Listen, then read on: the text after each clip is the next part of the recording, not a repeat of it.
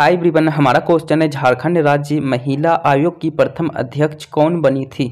Option number A है, Shrimati Janaki Patnaik. Option number B है, Lakshmi Singh. Option number C है, रिमती रिमती Mohini Giri option number D है, Shrimati Rekha Sharma. Okay तो झारखंड राज्य के प्रथम महिला आयोग के प्रथम अध्यक्ष जो बनी थी, वो बनी थी लक्ष्मी सिंह। तो ऑप्शन नंबर बी हमारे इस क्वेश्चन का करेक्ट आंसर हो जाएगा, ठीक है?